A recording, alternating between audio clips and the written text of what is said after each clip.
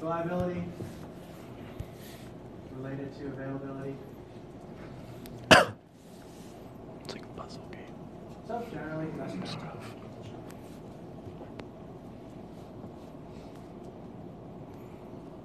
So on the maintenance side, um, with hydraulics, you've got a lot of, I mean, you're talking a lot of hoses and pumps and, um, you've got the engine.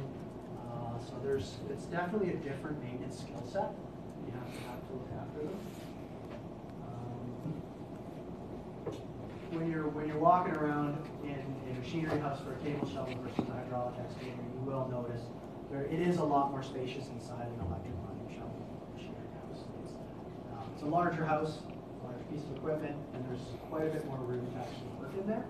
So from a maintenance, accessibility, and ease of maintenance uh, perspective, the electric mining shovels are are. Now, you've got, um, now you've got electricity, or you've got the need for electricians and electrically skilled people, whereas if you're running hydraulics, you can basically run all mechanics, right?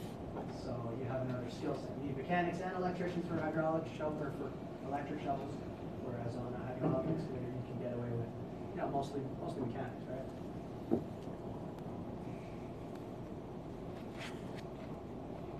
Uh, fuel, sure, so obviously you're filling up, uh, your hydraulic shovels, there's a large diesel engine up to ten thousand liters of fuel per day. So that's, you've got the infrastructure needed to fuel the equipment, which you'll have for your support equipment anyway. But, um, it is another, another aspect that you have to look after and manage associated with hydraulic shovel. Uh, with the cable shovels, you're managing the trail code. So I guess thirty minutes a day of downtime is two to four percent per year if you spend that time.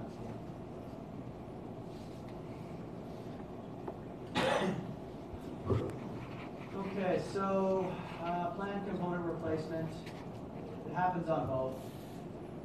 Um, But I think that the, the, the replacement schedule or, or requirement is, uh, longer term, the benchmark hours are a little bit longer on the cable shovels, I think, go ahead.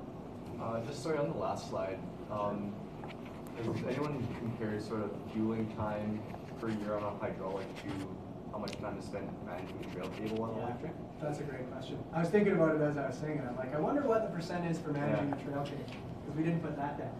So that's a fair question. That's a very good question. Yeah. I don't have that, that, that's the. You could probably schedule fueling electric. Sure, if the machine's, if machine's down and you take it down for lunch. Yeah, it depends if they do the hot, hot switch or hot seat or wherever, where they'll, they'll bring an operator in while the other guys have the lunch.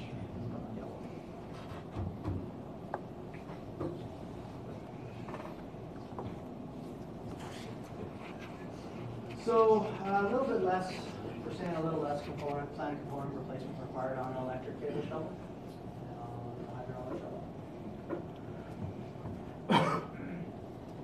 Uh, so when you're dealing with hydraulics, you know, you're in a, in a mine, there's, contaminants are bad for hydraulic systems, obviously. You've got to do everything you can to keep, um, keep out of your hydraulic system. Um, that being said, with an electric, electric motors are a lot more, um, they're more tolerant of that dirty environment. So certainly you're not going to run your electric motor in, uh, you know, we don't have them running in extremely dusty or dirty applications here right next to the tank. But we do, like the crowd motor is out on the boom. It's actually fed um, air from the house. So we actually duct air from, it's clean and filtered air from the house up to the boom where the crowd motor is. Uh, the propellers are down below and they do not have clean air. They're just down out in the open. Uh, But in general, so in the house, you've got filtered air the motors there. Uh, But in general, the electric motors are standard too. A little more dirt and dust than, than a hydraulic system. And then you got uh, cleanliness, so you've got hydraulics, you've got lots of hoses, and often leaks. and Tends to be harder to keep the equipment clean. And that can be a safety issue too when you're talking about slippery surfaces as well. Not a lot of fluids on electric shovel, uh, so you don't really have any of that. I mean, there's, there's open gear lube that's sprayed on the, uh, swing, uh, the ring gear, and roller paths, um, crowd, the racket being on the crowd. So there is certainly, there's lubrication, but you don't have the hydraulic system, at all, it's, it's the hydraulic shell.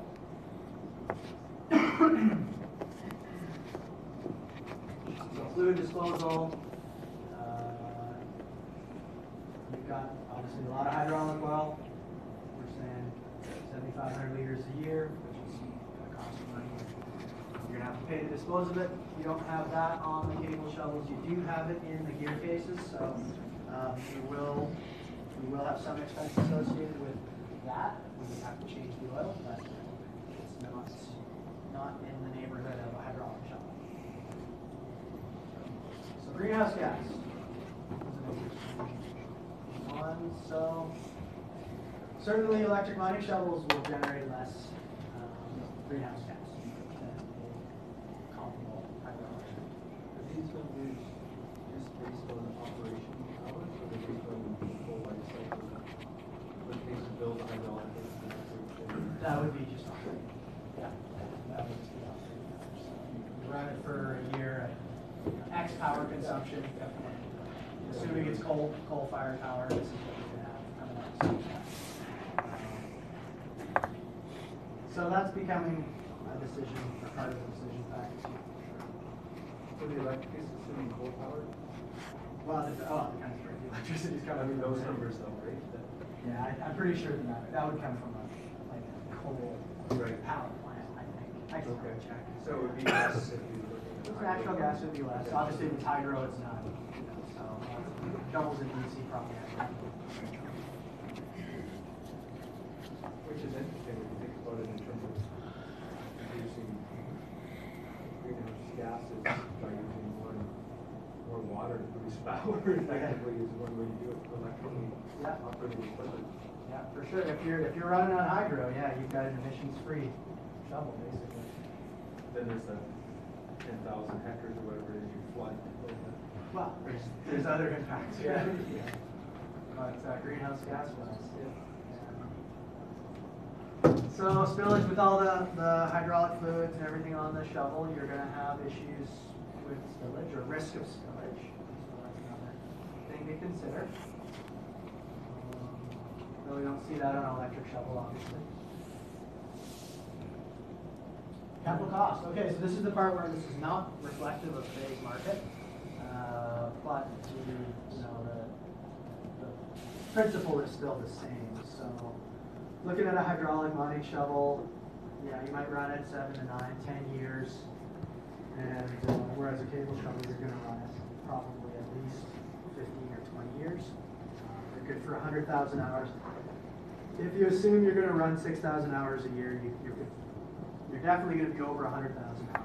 And like a lot of the machines up in Fort McMurray, because they're looking to extend the life, they're, they're up in over 100,000 hours now, and they're saying, what do we need to do to run these 250,000?